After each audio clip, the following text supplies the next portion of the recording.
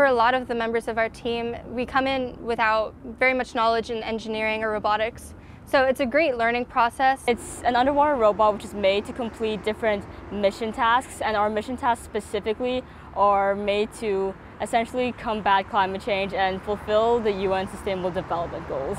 Um, I think I've definitely learned a lot about working with other people, with leadership, and just gaining knowledge in the field of mechanical engineering. Like I've learned how to CAD, I've learned how to use various tools, things like that. And I think for me the most memorable part is getting to meet all the other teams. They have the workstations where you can go around see all the other team's robots. The thing I love about robotics is that I'm learning the skills that I could later apply to use in our real world industry to basically do the same thing but on a much higher level. I think going forward there's going to be a huge demand for this type of study. There's very little we know about the ocean and it's constantly evolving.